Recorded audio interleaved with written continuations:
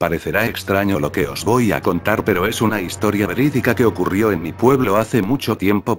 Mi pueblo era antiguamente una pequeña aldea de las zonas más escondidas de la provincia de Cáceres. Aquí reinaba un hombre al que todo el pueblo quería y admiraba, pero más querida aún era su hija, una bellísima princesa a la que, por mandato de su padre, le estaba prohibido salir de palacio. El rey era un buen hombre, pero adoraba a su hija por encima de todas las cosas y no permitiría que nada le ocurriese a esta, por ello la encerraba en su habitación. Un día de primavera, la princesa, harta ya de su encierro, decidió tramar un plan y escapar, solo por unas horas de su cuarto. Para ello, solo tenía que salir por la ventana de su cuarto al alba y volver antes del ocaso, sin ser así descubierta. Punto y finalmente así lo hizo. Una vez había salido de palacio todo era más fácil, se cubrió el rostro para no ser reconocida y simplemente paseó y paseó por las calles del pueblo, aún desconocidas para ella. La princesa, sin saber muy bien por dónde iba, se adentró en el bosque, tanto que se perdió, pero gracias a que todavía no había oscurecido encontró una casita al final del bosque donde conoció a un guapísimo aldeano que la acompañó a las cercanías de palacio. Los jóvenes quedaron tan enamorados el uno del otro que decidieron volver a verse. Todos los días la princesa se escapaba nada más salir el alba y volvía al anochecer antes de que su padre entrase en su habitación para visitarla cuando iba a la cama.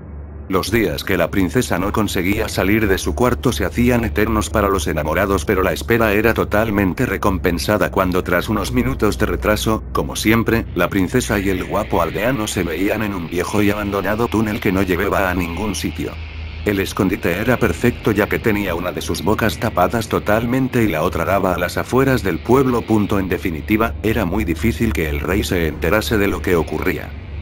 Pero sus pesadillas cobraron forma y se hicieron realidad ya que el rey descubrió las escapadas de su hija y mandó a un guardia de palacio a seguirla para descubrir lo que hacía.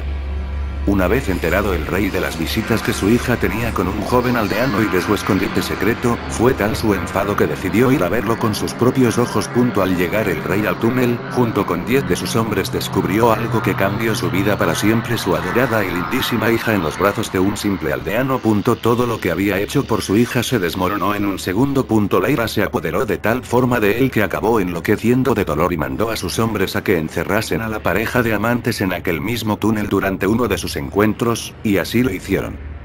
La mañana del 13 de diciembre, la joven, marchó como cada día a aquel oscuro lugar y una vez allí, se vio con el joven punto realizando las órdenes de su superior, los guardias de palacio los encerraron cuando estaban tapando la única boca que quedaba abierta.